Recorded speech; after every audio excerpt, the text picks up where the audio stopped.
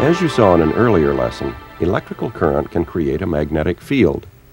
Whenever current flows through a conductor, a magnetic field consisting of flux lines builds up around the conductor. If the wire is straight, the magnetic field is extremely weak. If the wire is coiled, the magnetic field is concentrated and can be very strong. This, of course, is electromagnetism, the production of a magnetic field by an electric current. Current is made up of free electrons moving in a coordinated direction in a wire.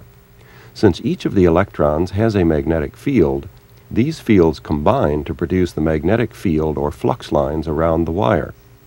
But when there is no current in the wire, there is no magnetic field, because the electrons in the wire revert to random motion. When this happens, the individual magnetic fields around the electrons cancel each other out. In addition to the ability of current to create magnetism, you also previously saw the ability of magnetism, or a magnetic field, to create an electromotive force in a conductor without any physical contact.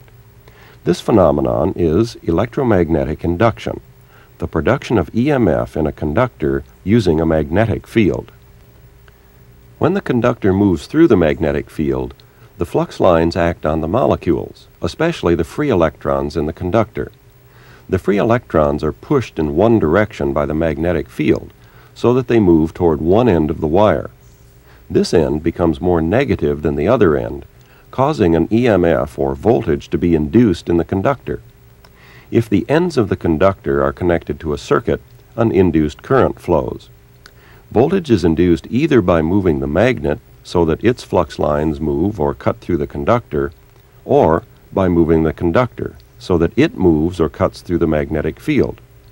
This movement, when the flux lines are cut by the conductor or the conductor is cut by the flux lines, is called relative movement.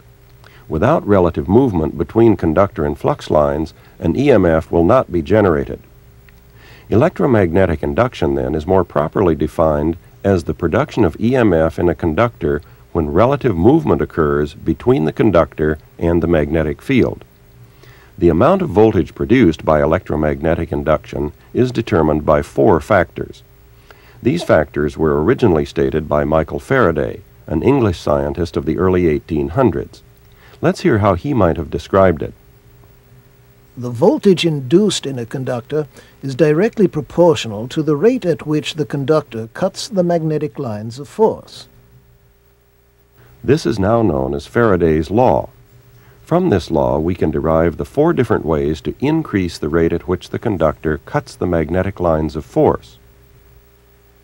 The most obvious way is simply to speed up the rate at which we move the conductor through the magnetic field. The faster the conductor moves through a magnetic field, the more lines get cut per second and more EMF is induced. The angle of the wire as it cuts into the magnetic field also affects magnetic induction. When the wire is at right angles to the lines of force of a magnet, it will cut the maximum number of lines. But if the wire conductor and the magnetic field are at less or more than 90 degree angles, less flux lines are cut. And if the wire conductor and the flux lines are parallel to each other, no lines are cut and no EMF gets generated. Another way of increasing induced EMF is to use a longer wire. A longer wire can be wound so that more loops of wire can cut the magnetic field. Finally, you could always increase the EMF by simply having a stronger magnetic field. In this case, using a core of iron to concentrate the flux lines. Since the conductor cuts through more flux lines at a time, the induced EMF is increased.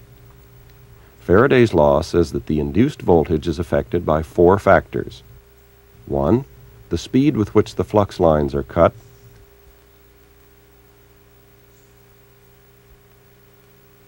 The length of the conductor cutting flux lines.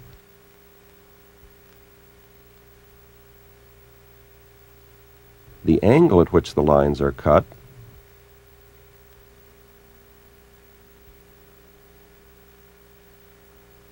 And finally, the strength of the magnetic field, in other words, the number of flux lines that are cut.